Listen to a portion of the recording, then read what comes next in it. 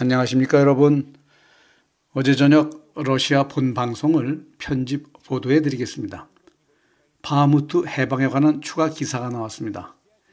224일간의 전투 끝에 바하무트를 해방한 것에 대해서 푸틴은 러시아군과 바그너군에게 축하 메시지를 보내고 있습니다. 바그너군 전투 중대장을 소개합니다. 이 사람은 매번 파흐무트 시가지 구역을 점령할 때마다 최선두에 서서 해방구역에 바그너 군기 혹은 러시아 국기를 개양했던 군인입니다. 돌격부대 중대장의 역할을 하고 있는데 전투의 최전방에서 그동안 해외 시리아 등에서 시가전을 학습하여 바그너만의 바그너만의 시가전 노하우를 형성하여 전투에 임하고 있다고 합니다. 현재 우크라이나군이 퇴각 혹은 소탕된 지역에 아직도 우크라이나군 병사 시신이 남아 있어서 이들을 소고 정리하는 작업도 있고 남아있던 민간인들 중에 부상당한 사람들의 긴급 호송 등 이제 전투가 끝났지만 기타 민간 구호 작업을 계속하고 있습니다. 바그노군은 내일 모레 바흐무트를 러시아군에게 인계해주고 떠납니다. 브리고진 말로는 2개월의 휴식 기간을 통해 바그노군을 재훈련 양성시키고 새로운 군대로 재탄생할 것이라고 말하면서 2개월 동안은 그 어떠한 전투에도 참전하지 않을 것을 공개하기도 했습니다. 이 장면은 전투 중대장이 전투 중에 수운을 달성한 병사에게 바그나에서 지급하는 금화를 보너스로 지급하는 장면입니다. 금화가 제법 돈으로 따져도 100만 원 정도는 될 만한 무게와 크기를 가지고 있는 금화입니다. 이러한 전투의 동기부여가 아마도 바그너군의 용맹성을 부채질하고 있는 듯합니다. 전쟁 노하우를 사용하고 전쟁에서 이길 시 많은 포상금을 지불하는데 누가 소극적으로 전투를 벌이려고 하는지 우크라이나군들이 강제 징집되어 제대로 훈련도 안 받고 조국 수호 의식이나 경제적인 인센티브 동기부여도 없이 그냥 고기 분쇄기 역할만 하라는 우크라이나 군과는 기본적으로 다른 마인드를 가지고 전쟁에 임하고 있는 것을 알 수 있습니다. 이번 바흐무트 해방 전투에 대해 바그노 군과 기타 여러 매체에서 전쟁을 분석하고 평가하는 자료들을 메디어에 올리고 있습니다. 그 중에 일부를 소개하겠습니다. 우선 바흐무트와 파파스나야의 해방작전 시 바그노군에게 제, 제공된 러시아군의 지원 내역이 바그너군에 의해 일목요연하게 설명되고 있습니다. 바그너군은 쇼이구나 게라시모프와의 불화에도 불구하고 러시아군이 바그너 자기네들에게 지원한 부분은 명료하게 기술하고 있습니다. 이런 점은 바그너군이 잘한다고 생각됩니다. 지원 내역 첫째는 수로비킨 장군 휘하의 전략 복격기와 미사일 등이 지원되었다.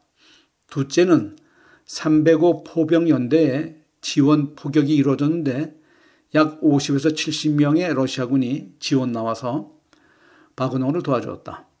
세 번째, 측면 방어에 러시아 지원 병력 57여단이 동원되어 도와주었다.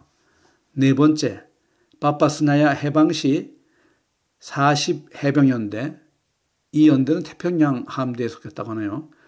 들어와서 도와주었고, 다섯 번째, 6연대와 57연대 탱크 기갑 사단이 지원 병력을 동원해서 많은 도움을 주었다고 발표를 하고 있습니다. 그리고 작전 성과를 발표했습니다. 작전 성과 첫째 6,500명의 용병을 사살했고 두 번째는 1만 대 이상의 군 장비를 파괴하였으며 세 번째는 50대 이상의 우크라이나 전투기를 격추했고 네 번째로는 5만 7천 명의 우크라이나 병사를 사살 그리고 다섯 번째로는 8만 5천 명의 우크라이나 병사가 상해를 입었고 여섯 번째로 10개 우크라이나 연대를 기멸시켰고 일곱 번째로는 21개 연대를 후방으로 퇴가시켰으며 여덟 번째 우크라이나 군대의 반격 작전 에너지를 소모시켰으며 아홉 번째는 일명 바흐무트 고기 분쇄기라는 신조가 탄생할 만큼 좁은 전투 지역에서 무수한 사상자가 발생했다고 말하고 있습니다. 아, 지, 난번 영상에서 본인은 바흐무트에서 15,000명의 전사자가 발생하였다고 했습니다. 이 전사자는 전투가 심화되었을 때 한 달간의 전사자를 집계한 것이며 224일간 전체 전쟁 전투 기간 동안의 사망자는 바그너군에 의하면은 5만 7천 명의 우크라이나 병사가 사살된 것으로 발표되었습니다. 그리고 다음 영상은 바흐무트 해방에 대한 러시아군 전략을 공개하고 있습니다.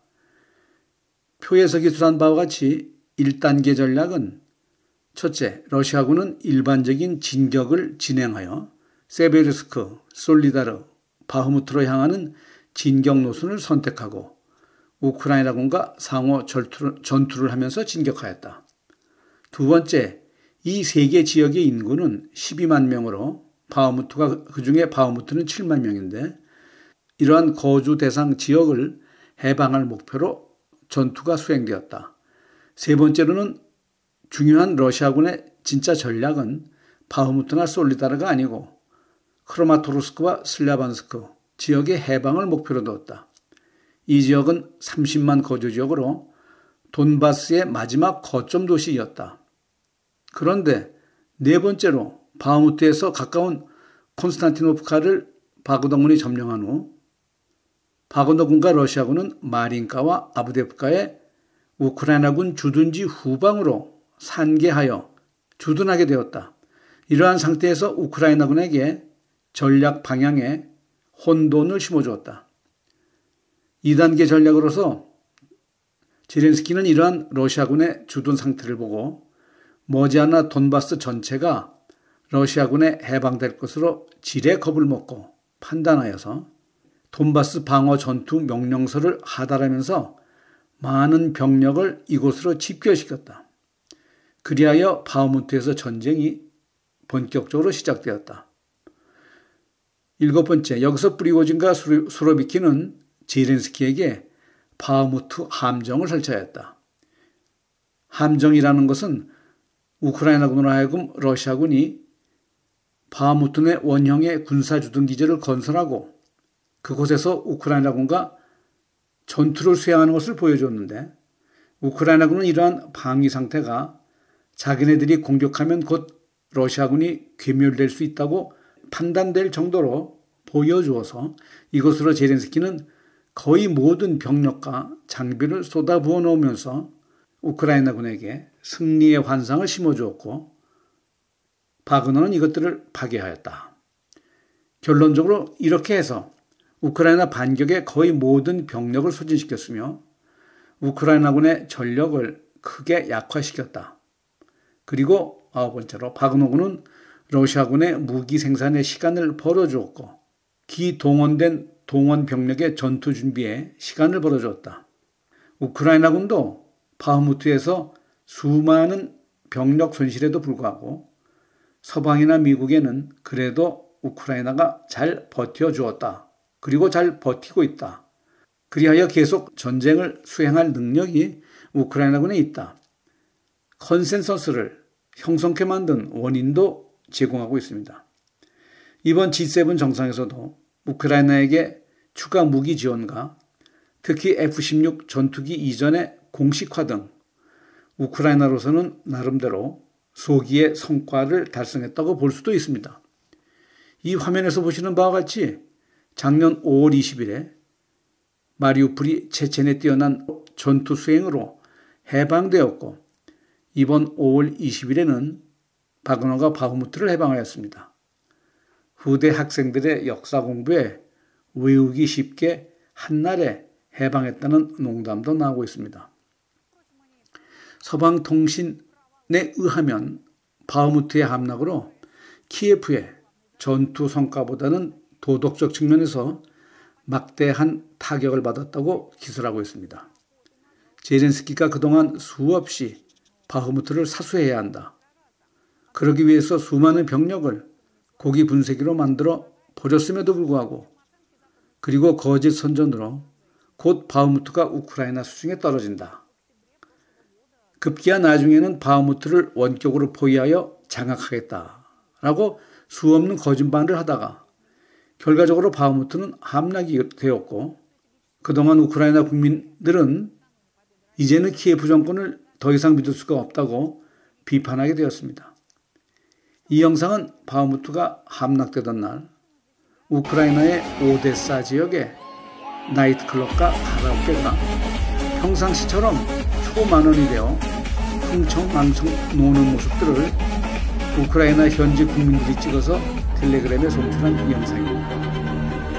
요즘 본인도 우크라이나의 미인 여자들을 보면 왠지 모르게 소름이 끼치면서 혹시 나치 사상에 물들은 보안 요원이 아닌가 하는 의구심이 먼저 들 정도로 우크라이나의 아름답던 여성의 모습들이 이제는 무서운 마음으로 가까이 할 수 없는 지경이 되었습니다.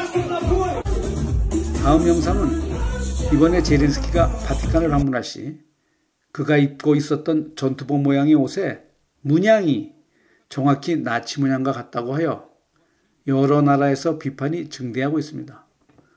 우크라이나에는 정통 나치 숭배 국수주의자 군사 조직이 있습니다. 이름은 까르파치카 연대라고 부르는데 아이들에게 나치식 군사 교육을 시키는 것이 영상으로 폭로되어 커다란 무리를 빚은 바 있으며 마이단 폭동 이후 군사 조직으로 변형되어 지금도 전투에 참가하는 군사 집단입니다.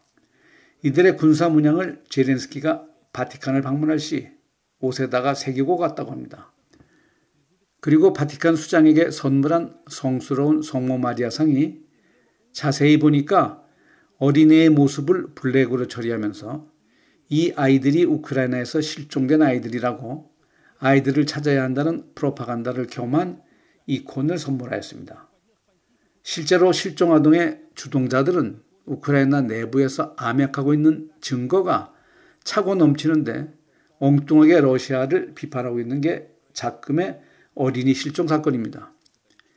이 영상은 G7에서 제렌스키가 모든 회원국 수장들 앞에서 의기양양 포즈를 취하고 있습니다.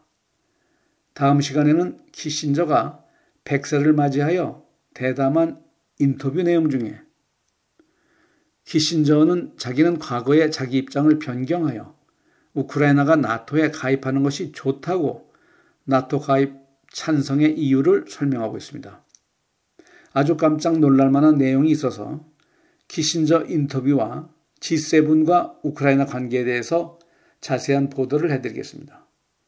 마지막으로 이 영상은 러시아가 아닌 해외에서 260m 높이에서 농구공을 던져서 농구 골대에 골이 나는 장면입니다. 시원한 장면을 보시면서 오늘도 방송을 마치겠습니다. 시청해주신 여러분 감사합니다.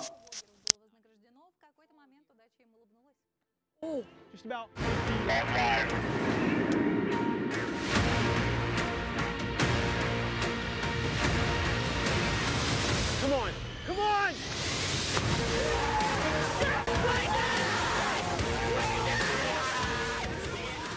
этом пока все. Увидимся.